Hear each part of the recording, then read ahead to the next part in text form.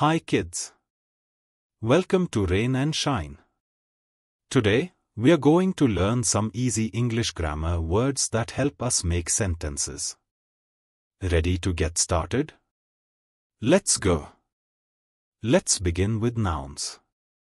Nouns are naming words. They tell us the names of people, places, animals, or things. For example, words like dog, school, and apple are all nouns. Next, we have verbs. Verbs are action words. They show us what someone is doing.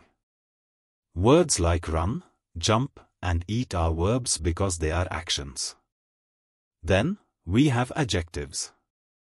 Adjectives describe nouns and tell us more about them. For example, happy, big, and blue are adjectives. Adjectives add details to our sentences. Now, let's talk about pronouns. Pronouns are words we use instead of names. Instead of saying Tom, we can say he.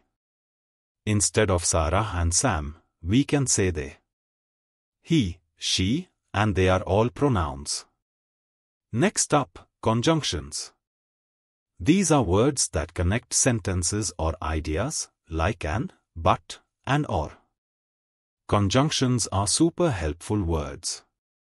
Now, let's look at prepositions. Prepositions are words that show where something is. Words like on, in, and under are prepositions.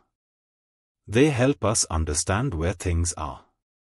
Here's a fun one, interjections. Interjections are words that show strong feelings like wow or oops, or. Interjections add excitement to our sentences. Almost done. We also have articles. Articles are tiny words like a, an, and the that come before nouns. If we say a cat or the dog, a and the are articles. Lastly, let's talk about sentences. A sentence is a group of words that makes sense together, like the sun is shining. Sentences start with a capital letter and end with a period, question mark, or exclamation mark. Great job, everyone! Now you know some of the most important grammar words to help you create sentences.